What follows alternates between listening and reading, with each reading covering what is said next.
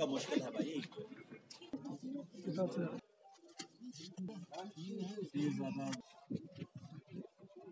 कितना टाइम लगी तू? बेटा क्या है आपका?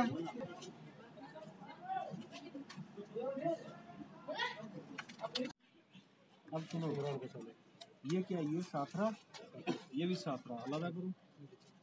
ये फतेहपुर? आपके लिए वो लाइक करवा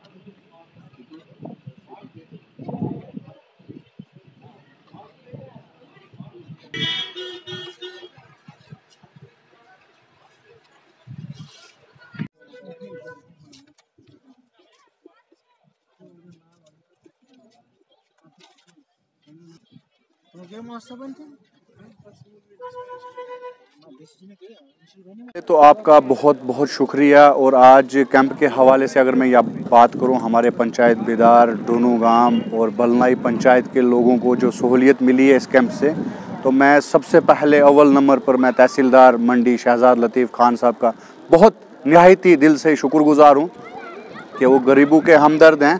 और साथ में हमारे लोगों की यहाँ पर जो है तकलीफ़ समझते हैं। उन्होंने जो कैंप यहाँ पर लगाया तमाम रेवेन्यू डिपार्टमेंट जितना भी है, मैं उनका तह दिल से शुक्रगुजार हूँ क्योंकि हमारे लोग जो हैं, दूर दराज इलाके से चल कर आते हैं। तो उन्होंने हमारे लोगों की तकलीफ़ समझी और पूरे महकमे को लेकर यहाँ पर पहुँच गए और जो यहाँ पर डोमिसाइल और साथ में पहाड़ी एस टी स्पीकिंग जो सर्टिफिकेटें बन रही है, वो इशू जो है, यहीं पर कर रहे हैं और तमाम महकमा जो है, यहाँ पर बैठा हुआ इसलिए मैं नहायत ही शुक्रगुजार हूँ तहसीलदार साहब का कि उन्होंने ये अच्छा स्टेप लिया है। बाकी पंचायतों में भी जो है, वो उन्होंने कैंप लगाए। लेकिन आज जो है हमारी पंचायत बिदार में कैंप लगाया है। यहाँ पर तीन चार पंचायत के लोगों को जो है बहुत ही नहायत फ़ायदा हुआ इस कैंप से।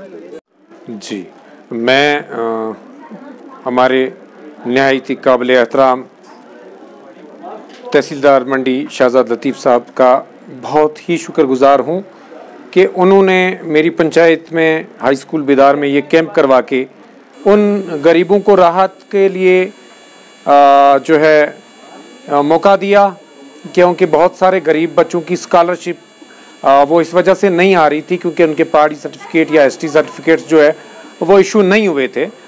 तो इन्होंने बहुत अच्छा फैसला लिया है। अलग अलग पंचायतों में ये फार फारफ्लांग एरियाज़ में जो है कैंप करवा रहे हैं। जगह पे जो है ये खुद बैठ रहे हैं, अपने अलॉन्ग स्टाफ के साथ, और जगह पे जो है वो सर्टिफिकेट इशू हो रहे हैं। इससे गरीबों की जो स्कॉलरशिप है वो ज़ाया नहीं होगी और टाइम पे जो है वो उनके अकाउंटों तक पहुँचेगी।